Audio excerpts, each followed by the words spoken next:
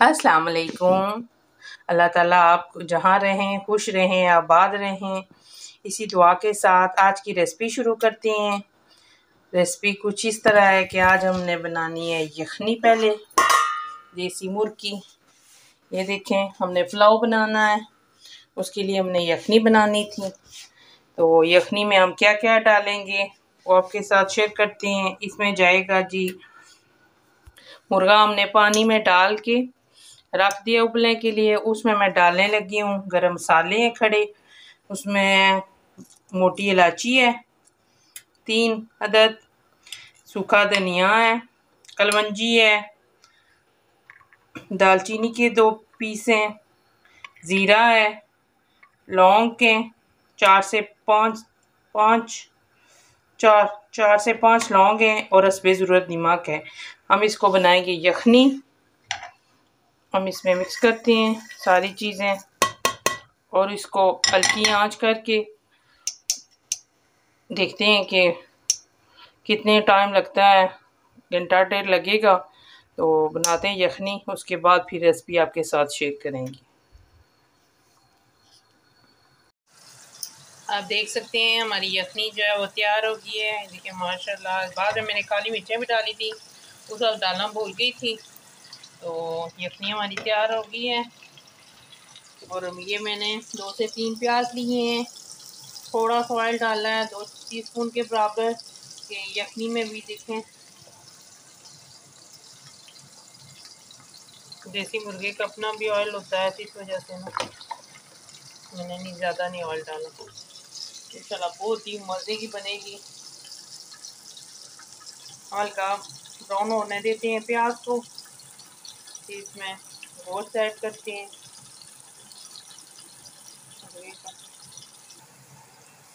देख सकते हैं, हमारा प्याज जो है वो ब्राउन हो गया। है गोल्डन ब्राउन अब इसमें हम जो है ना चिकन का गोश्त डालते हैं।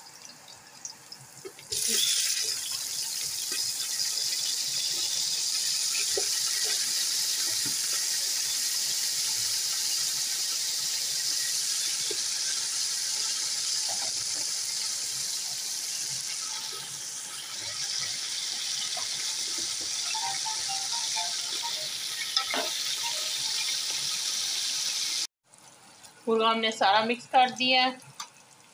डाला है। अब इसको थोड़ा सा अच्छे तरीके से हम भूनते हैं। बहुत गोल्डन हो जाएगा। तो बहुत ही टेस्टी फिर बनता है पुलाव।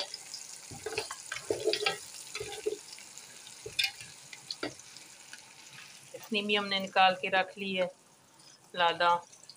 तो थोड़ा सा गोश्त को फ्राई करें।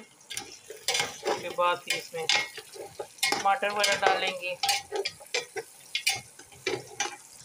हल्की आँच करके मैं इसको भूनूँगी कि जल्दी गोल्डन ना हो और बहुत ही अच्छे तरीके से खाली कलर ना चेंज हो, अच्छे तरीके से गोल्डन भी हो।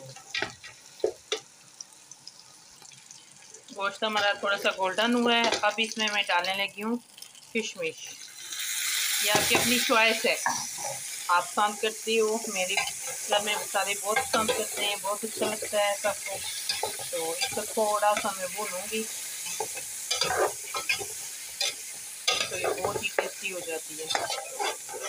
तो देख सकते हैं, मुर्गा हमारा जो है ना गोल्डन हो रहा है।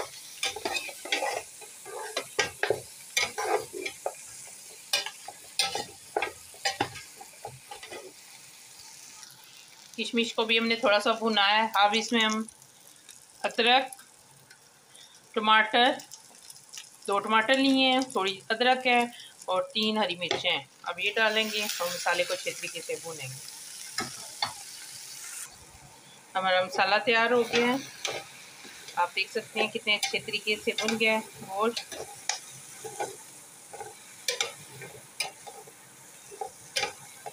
अब इसमें हम पानी डालेंगे। यखनी वाला, यखनी। जब देख सकते हैं हमने यखनी डाल दी है। या पानी जो है, आप जो है, अगर दो कप चावल के डालते हो तो चार कप पानी आप डालो, डबल चावल से। तो बहुत ही टेस्टी, बहुत ही अच्छे बनते हैं। ये चावलों पे होता है कि आपकी चावल जो है ना, बासमती हूँ तो उसको आधा घंटा आप उगो के रख दें। अब मैं इसमें हंसपे ज़रूरत जो है ना। मुझे बहुत ही अच्छी लगती है, इसकी मैं बहुत प्यारी बिरयानी, मसाले की खुशबू, हर चीज़ इसमें पड़ी होती है। तो बहुत ही खूबसूरत इसकी खुशबू आती है। वो डाला है। पानी हमारा उबर रहा है, इस वजह से कि यखनी गर्म थी। और आप ये भी कोशिश करें कि आप चावल में गर्म पानी डालें, ठंडा पानी ना डालें। उसे भी बहुत ज़्यादा टेस्ट में फ़र्क पड़ता है। अब इसमें हम चावल भी डालने लगे हैं। आप देख सकते हैं, चावल में से मैं पानी निकाल दिया है। अब ये मैं मसाले में मिक्स करने लगे हमने बाउल में से चावल सारे डाल दिए हैं। मसाले में बिल्कुल हल्की हल्की हाथ से, चम्मच को ज़्यादा जो है वो मिक्स नहीं करना। कोशिश करें कि ऐसे ही पानी को जो है चावल मिक्स हो जाए। अब इनको हम कवर करेंगे। जब तक पानी ड्राई होता है, उसके बाद फिर दम पे ही टेस्टी बहुत ही मज़े की बनेगी।